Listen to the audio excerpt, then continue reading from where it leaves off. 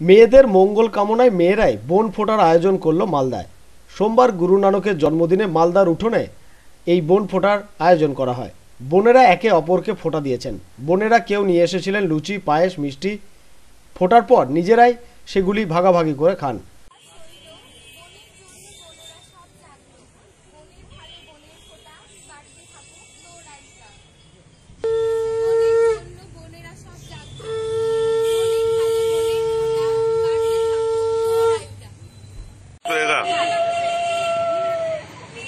কপালে দিলাম ফোঁটা সই বোনের জন্য বোনেরা সব বোনের ভালে বোনের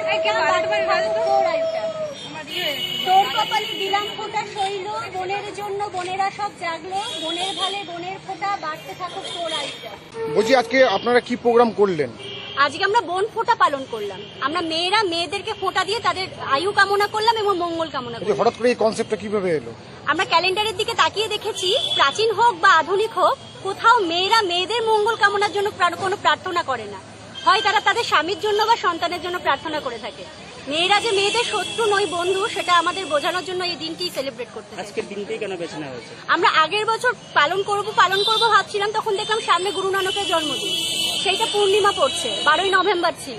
আজকে ত্রিশে নভেম্বর। এই দিনটাকে এরকম ভাবে যদি আমরা ধরে রাখতে না পারি তাহলে হয়তো দিনটা এবড়ো খেবড়ো হয়ে যাবে। বলছি যে কে কি রকম জিনিস তৈরি এর বাড়ি থেকে?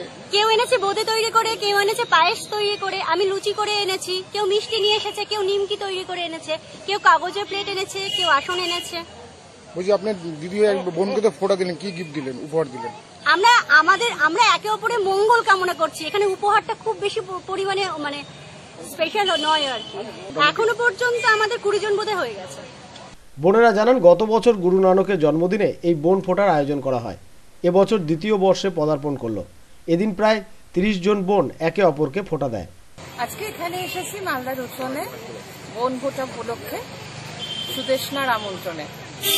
কেমন লাগল এই নতুন কনসেপ্ট খুব ভালো মেয়েরা মেয়েদের জন্য যে মঙ্গল কামনা করে আসছে একটা মহিলা পরিবারকে বাঁচিয়ে রাখে। ছেলে সন্তান স্বামী সকলের জামাই সকলের জন্য সে মঙ্গল কামনায় ব্রত করে অনুষ্ঠান করে বিভিন্ন লোকাচার লোকনীতিগুলো মানে। মেয়েরা মেয়েদের জন্য কিন্তু এখন পর্যন্ত কোনো কিছু করেনি। নতুন সমাজে আজকের দিনে বোধ এটা এই ভাবনাটা সম্প্রসারিত করা দরকার যে মেয়েরাও মেয়েদের জন্য মঙ্গল কামনাতে এক জায়গায় দাঁড়াতে পারে। আর এই ভাবনাটা খুব ভালো লাগার দরুন আমি এই আমন্ত্রণে সাড়া দিয়েছি। মালদা থেকে দেবু সিংহ, আনন্দ বার্তা।